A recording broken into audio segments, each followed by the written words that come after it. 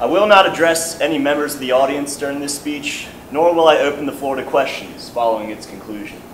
I will, however, begin by answering a question for all of you, in hopes of not hearing it as frequently as I do.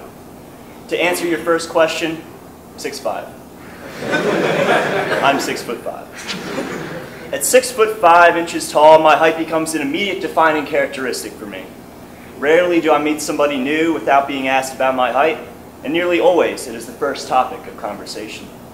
People often get the idea that, wow, you are so tall, is a creative and engaging icebreaker. this is not the case, and were it not for conversational skills and repeated exposure to this comment, I could only reply to it with, I know. Nicknames such as Daddy Longlegs and Tree have originated in this fashion because my height is the most clearly evident distinction between myself and those who surround me. Early on in human evolution, height could have been seen as a biological advantage. In the early Paleolithic era, hunters used to run for extended periods of time to tire out their prey. Perhaps my long legs could have benefited me then, two million years ago, to help capture my meals. Even as late as the Bronze Age, the extra leverage from my long frame could have helped me hurl spears and bring buffalo, fish, or bear home to my prehistoric family. My point is, years ago, in a competitive struggle for survival, my height could have been a strategic asset to separate me from my peers. During my entire school career, starting at Calvert and making my way to Gilman, I've always been notably tall. It didn't take long, however, for me to realize that my height granted me little advantage in the framework of school life. I could reach the highest bookshelves and touch the basketball rim earlier than my peers, but I never experienced any distinctive edge over those around me for my height. My cave family would have flourished because height in the prehistoric societal framework of hunters and gatherers would have yielded me a much higher rate of survival. In spite of this fact, my experiences in school have taught me that success in our society no longer favors traits like height or the ability to outrun an antelope. Instead, survival today relies on modern society's entirely different set of favorable traits and characteristics. According to the Darwinian concept of natural selection, those with more advantageous traits will survive and experience greater success than those who lack the upper hand. Granted the phenotype of conspicuously tall with seemingly no profitable application, I began to fear for my own survival. As a species, we humans share an average of 99.9% of our genetic code, yet we still exhibit extreme diversity as individuals. Diversity is most often discussed in the context of race, meaning our differences in cultural heritage. When one truly assesses our species, however, the color of our, our skin seems trivial in comparison to the vast ideological and cerebral differences that separate us all.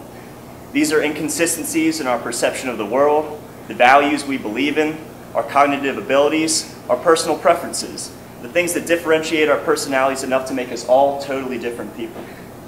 The Darwinian model of humanity would argue that some of us diverse individuals are more fit for success than others in our cultural framework, in the same way that effective hunters had a better chance to succeed billions of years ago. This biological model of human life seemed practical to me. It applies to all other species on the planet, so why should it be any different for humans? Although many of us do not routinely grapple for survival, we remain in an endless state of competition among the pool of humanity. We collectively strive towards shared goals of love, financial stability, and power, and naturally some prosper more than others. According to the Darwinian model, the responsibility rests on us as individuals to apply the unique set of traits we are given to achieve success and better ourselves. This model of humanity creates a sort of battleground for us as a species, and although simplified through the, the lens of survival and natural selection, it holds true across our entire lives. We constantly compete with those around us at all ages, whether it be for dominance at recess, superiority in the classroom, acceptance into a selective university, or employment in a well-respected position. No matter what stage we find ourselves in life, we contend against a sea of intelligent peers in hopes of individual triumph.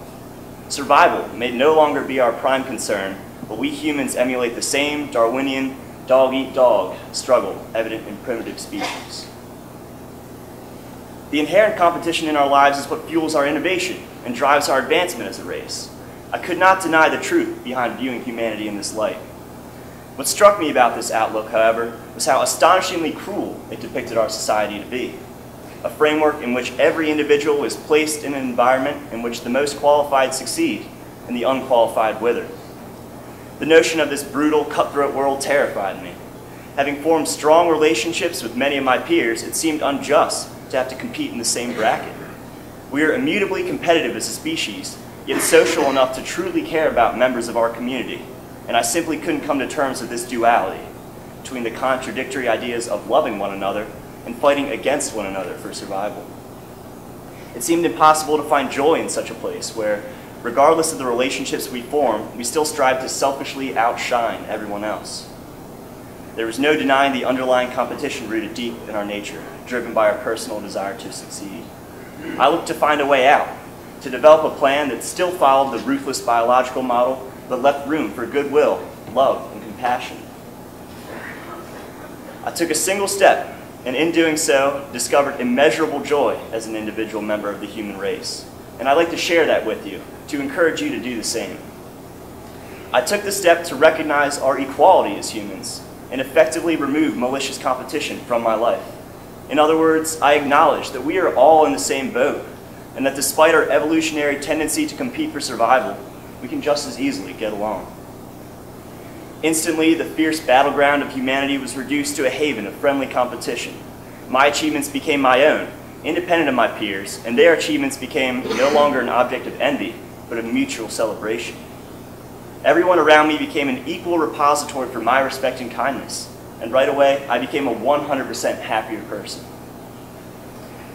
While we all function alone as self-governing individuals, we form a unified community within the human race, a community of vastly different individuals with similar goals. It is this element of community, not only of friends, of family, colleagues, but of humankind that I hope resonates with you the most today. Whether or not each of us harbors equal potential is impossible to know. We share 99.9% of our genome with one another, yet despite this intrinsic similarity between us, we still display incredible diversity in talent, in taste, size, color, ability, and thought. I stand one of the tallest people in the room, and it is pretty cool to say that everyone in this room, besides Ben Robbins, looks up to me. but in the grand scheme of things, this sort of superficial discrepancy between us is hollow as we form the community of mankind. I decided that we could collectively enjoy a new existence, one that ignores the competition that is deep rooted in our soul. And I challenge you to do the same. To find delight in the people that surround you and recognize that they fight the same battles that you do. To take the triumphs of others as a prompt for self improvement rather than a prompt for resentment and jealousy. The people I encounter on a daily basis bring to my life an infinite joy. And although we think and operate as individuals, I think we could all be a little happier if we were to stick together a little more. Thank you.